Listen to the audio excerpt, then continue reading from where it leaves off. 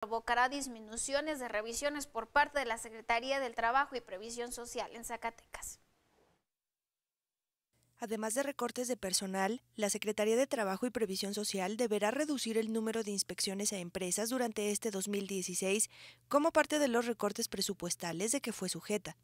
En términos globales, la reducción del presupuesto para este año es 15% menor que el del ejercicio anterior, así lo señaló su delegado Gilberto Zapata Freire.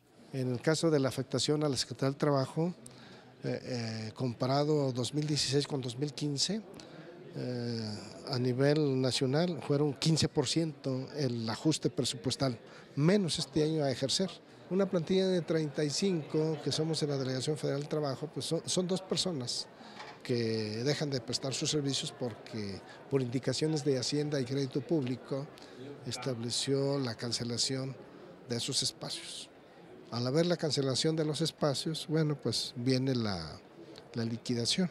El sector más afectado con la reducción del presupuesto es la de viáticos para inspecciones y verificaciones, por lo que este año se efectuarán 70 diligencias menos que en 2015. El año pasado se realizaron 1.680. Los recortes de personal de esta dependencia se suman a los ocurridos hasta el momento en dependencias como Semarnat, Zagarpa, Conagua y la Secretaría de Economía. Estaríamos hablando que alrededor del año pasado que tuvimos un ejercicio alrededor de, para el funcionamiento de la dependencia de 800 mil pesos en el año.